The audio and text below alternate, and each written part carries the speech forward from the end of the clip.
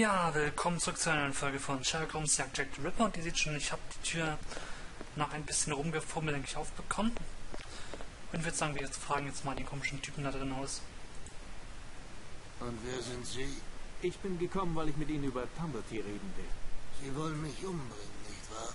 Natürlich nicht. Jemand, den Sie kennen, hat mich geschickt. Er meinte, Sie hätten brisante Informationen über diesen Amerikaner. Als Gegenleistung sei die Kajak-Sache für ihn erledigt. Sie sind nicht von der Straße. Sie sind ein Bulle, den ich in das Licht führen will. Ganz und gar nicht. Also, reden Sie mit mir? Keine Chance. Von mir erfahren Sie gar nichts und auf Blutung muss ich auch nicht hören. Ich stecke bis über beide Ohren in Schwierigkeiten und die Bullen werden mich nicht für den Rest meines Lebens hier behalten. Sie wollen damit sagen, dass Sie freiwillig hier sind? Verdammt richtig. Draußen erwartet mich der Tod. Die Leute hätten mich fast gelyncht, weil man mir den Mord an diesen armen Frauen anhängt. Die wurden abgeschlachtet wie Tiere. Die Polizei hat mich zu meiner eigenen Sicherheit hier eingesperrt. Das war, nachdem ich mit diesem Journalisten aneinander geraten bin. Journalist? Er hat meine Fäuste zu spüren bekommen, weil er mir ein paar blöd gekommen ist. Er hat mir dann damit gedroht, dass ich eines Tages dafür büßen werde. Und dieser Tag ist gekommen. Er hat gesagt, er würde ein Telegramm an die Presse aufgeben und mich darin anschwärzen. Mit meiner Beschreibung, meinen Tätowierungen und so weiter wurde ich zur gleichen Zeit festgenommen, wie die Polizei verkündet hat, dass der Whitechapel-Mörder gefasst wurde. Während er auf den richtigen Moment wartet, um sein Telegramm aufzugeben, verbreitet er schon das Gerücht und die Straßen sind für mich nicht mehr sicher. Ich verstehe. Hören Sie, wenn ich diesen Journalisten finde und dazu bringe, mir zu versichern, dass er kein Wort über Sie schreiben wird, werden Sie mir dann alles verraten, was Sie über Tumblety wissen? Außerdem werde ich Ihnen Geld geben, damit Sie aus London verschwinden können. Sie wissen, wie man mit Leuten von der Straße Geschäfte macht. Einverstanden. Wie heißt dieser Journalist? Bully. Tom Bully. Tom Bully. Der Name sagt mir etwas. Ist das nicht zufällig der Journalist, den Watson im Wespennest getroffen hat? Was? Ach, nichts. Ich habe nur laut gedacht.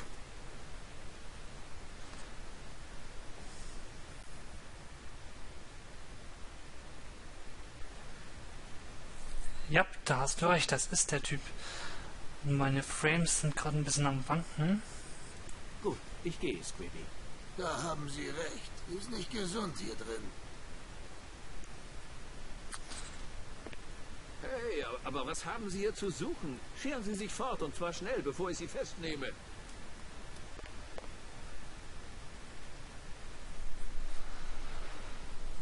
Ah, Ich glaube, ich habe gerade ein bisschen Frame-Probleme. Wenn ich mir die FPS-Zahl so angucke. Ich hoffe, das legt sich gleich wieder. Das sieht gerade nicht so aus. Das ist jetzt blöd.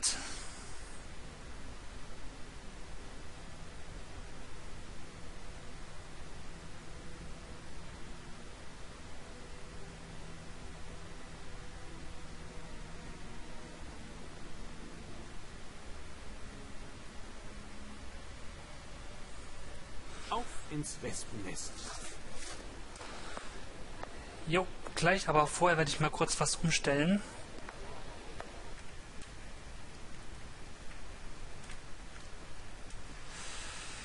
Ah, Was soll's, naja, einfach durch. Gut. Wir haben eine kleine Info, untersuchen jetzt mal das, was er da geschrieben hat. Papier und Tintenflecken. Das muss der Tisch sein, an dem Bulling seine Artikel schreibt. Ja,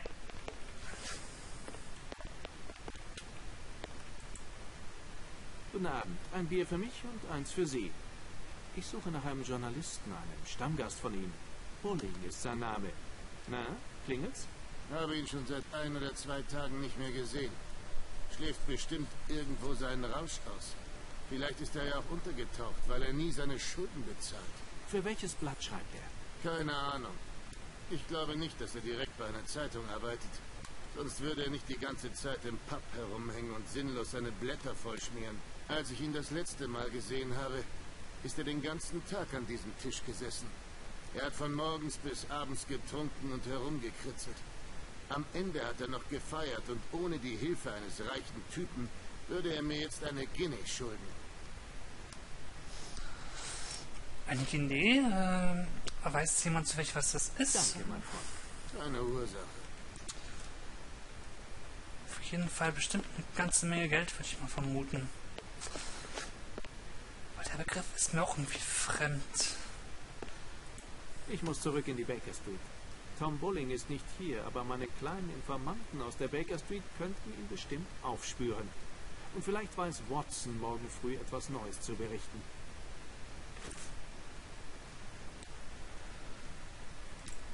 Gut, auf zur Baker Street.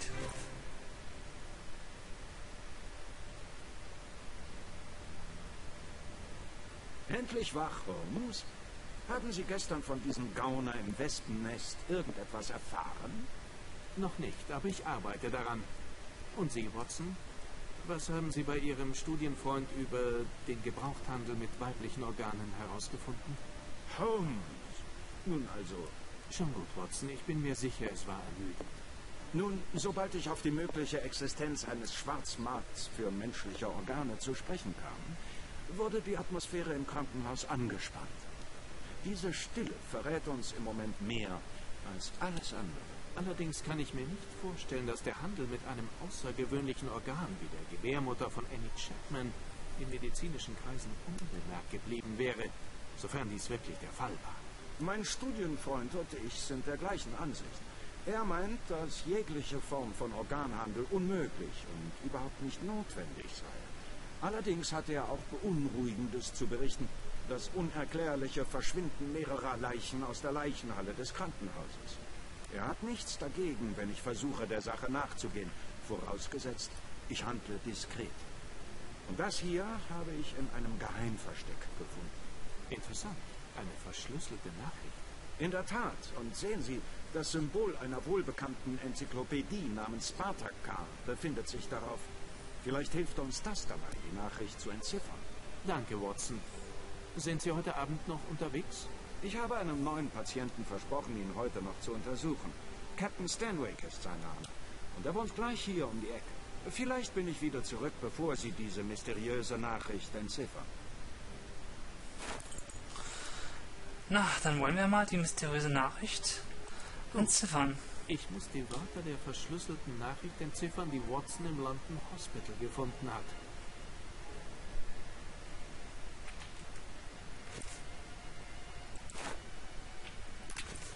Gut. Ich muss die Wörter... Hm, hm, hm.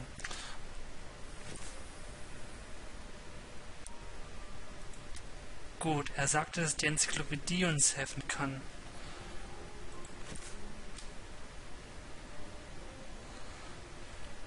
Das wird, denke ich, noch so sein.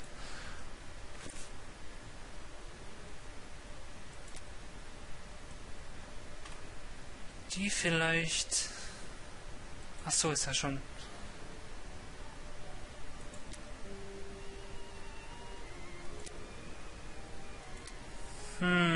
Das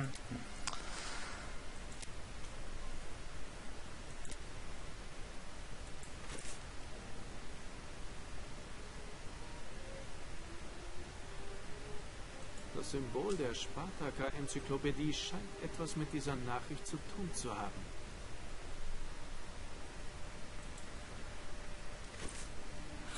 Das war nicht.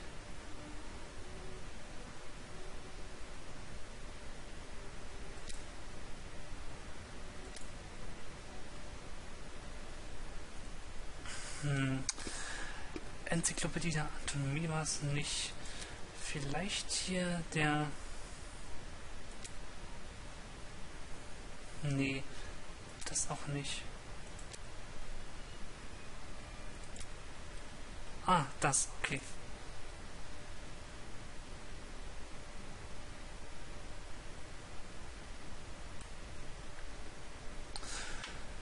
Ja, dieses Rätsel 1 steht für A. Alles römische Buchstaben, das ist die 3, 4, 5 und immer so weiter hoch in römischen Zahlen. Und darunter halt ist dann das ja, Buchstabenzeichen dafür. Das hier zum Beispiel, das könnte ein X sein und das V. Wo haben wir ein X und ein V?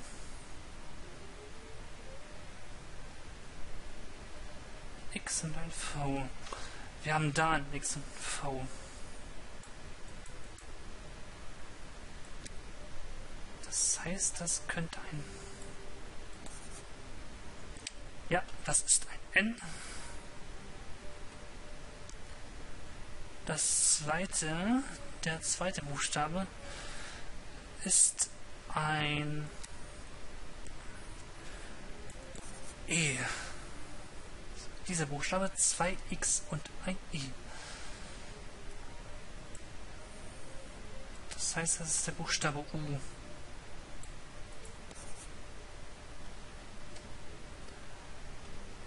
XV und drei Striche.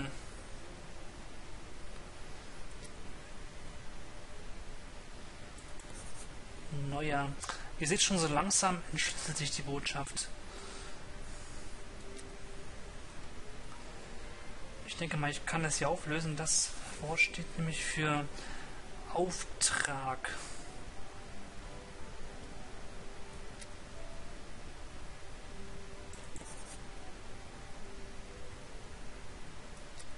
Jetzt das T.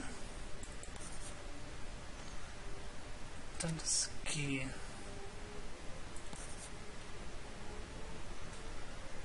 Das heißt bestimmt Tote. Neuer Auftrag, tote Frau. So, X und zwei Striche. Wo haben wir X und zwei Striche? Da. Lieferung.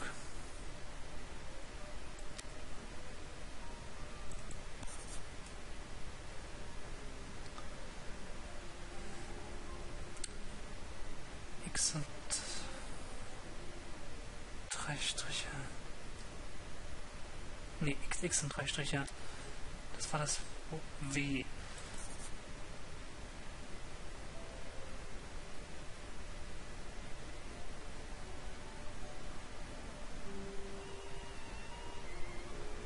Dieser Buchstabe befindet sich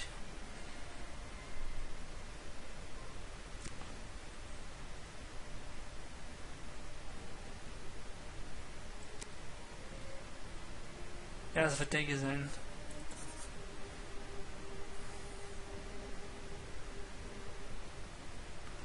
So, IV. Where fail würde dann da rauskommen.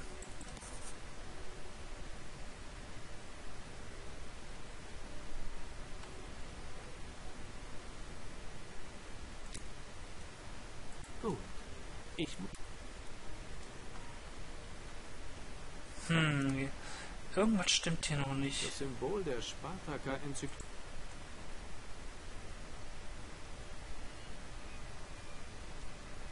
Ach ja, hier, 2F. Nee, 2F? Nee, nee, nee, nee. Irgendwas stimmt da noch nicht.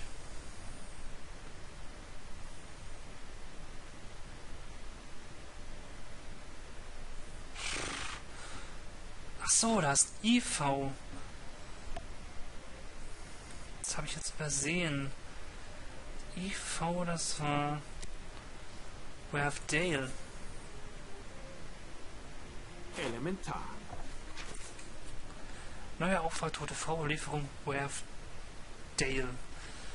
Fertig. Mein lieber Watson, ich kann Ihnen für Ihre Ermittlungen nur mein Lob aussprechen. Diese Nachricht bestätigt ohne Zweifel, dass in London organisiert mit Leichen gehandelt wird. Mein Gott. Wie entsetzlich. Watson, wir müssen uns zu der Adresse aufmachen, von der in dieser Nachricht die Rede ist. Ich schlage vor, Sie nehmen Ihre Waffe mit. Ich habe sie bei mir, seit wir in dieser Angelegenheit involviert sind, Holmes. Ich werde mich wieder als Arbeiter tarnen. Man kann nie wissen. Aber was ist mit mir, Holmes? Bleiben Sie so, Watson. Zur Not geben Sie sich als mein Arbeitgeber aus. Suchen Sie die Wharfdale Road auf der Karte von London, Watson. In Ordnung, Holmes. Die Wharfdale Road. Dann wollen wir uns mal zu Wharfdale Road begeben.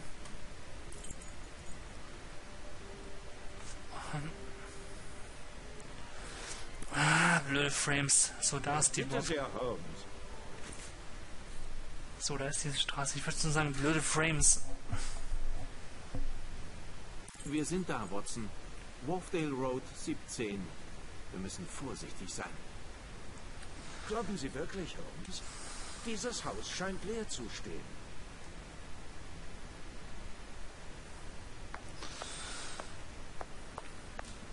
Hm, es sieht auch ziemlich leer aus.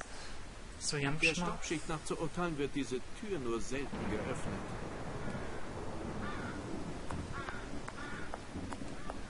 Ah, das ist ein cooles Gebiet hier mit dem Donner und so.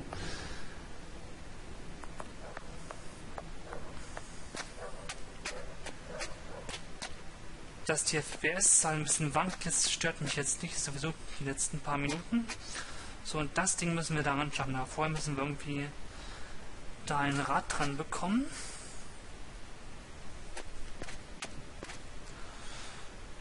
Dafür müssen wir hier ein bisschen sammeln.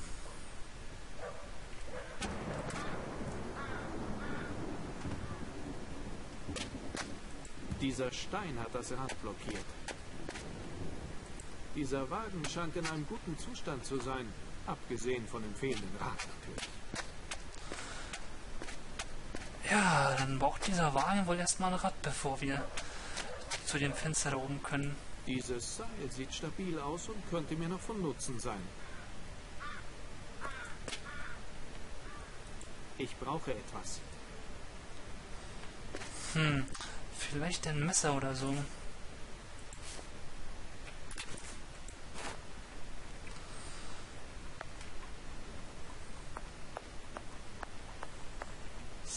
So, damit hätten wir schon mal etwas. Ich glaube hier drüben. Ah, da ist das Rad. Dieses Wagenrad ist in einem. Dieses Wagenrad ist in einem.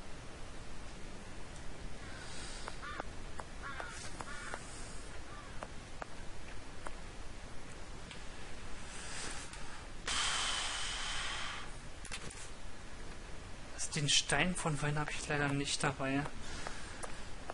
Sonst hätte man es vielleicht damit lockern können. Abgeschlossen. Dieses Schloss ist stabil, aber ziemlich alt.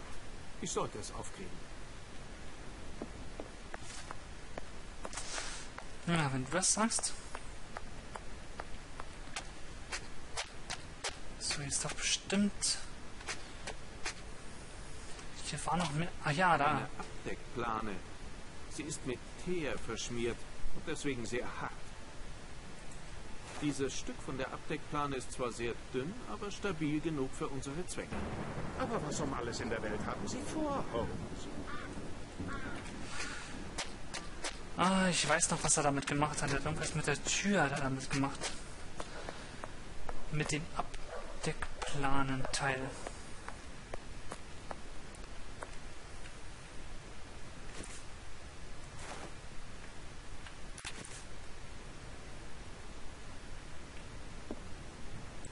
Das hätten wir. Ich habe die Abdeckplane zwischen die Tür geschoben und konnte dadurch spielend leicht das Schloss öffnen. Gehen wir rein. Unglaublich. Unglaublich, ja.